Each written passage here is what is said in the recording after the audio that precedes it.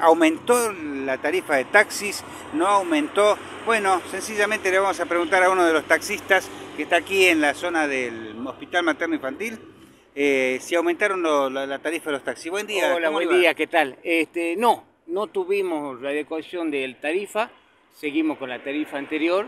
Este, y bueno, estamos siendo afectados bastante, bastante con todos estos aumentos que tuvimos.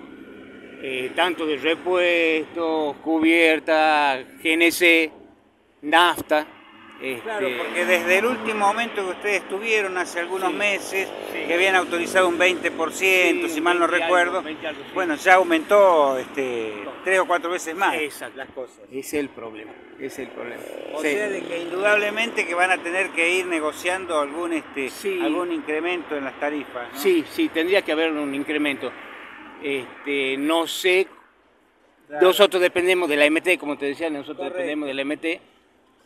los sindicatos pedirán un aumento, la MT hace una evaluación de la situación, a ver cuánto aumentó tal cosa, cuánto aumentó tal cosa, si se puede dar un aumento de tanto por ciento, y bueno, de ahí nos dirán. O si no, habrá que esperar hasta diciembre, que es el, el aumento normal que nos sabían dar siempre antes de la fiesta. Exacto. Bueno, pero para ustedes una problemática seria, el tema de cambio de repuestos, cambio de vehículos, todo se, le, se junta mucho. ¿no? Es terrible, es terrible, sí.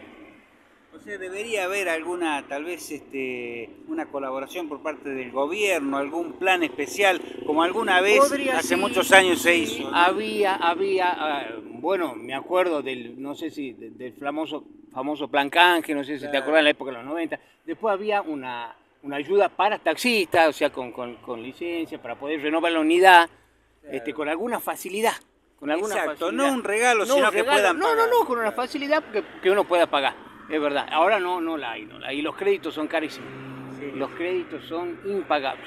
Los créditos, tasas normales, ¿viste? O sea, eh, 120%. O viste, si el plazo fijo aumenta, aumenta también el crédito que nos puedan otorgar a nosotros. Bueno, esta es la situación de los de los taxistas, no hay aumentos previstos todavía, eh, seguramente las autoridades de los, de los gremios de taxistas estarán evaluando esta situación y ya nos vamos a enterar, pero la situación de los, de los trabajadores del volante realmente no está para nada sencilla con los grandes aumentos que han habido.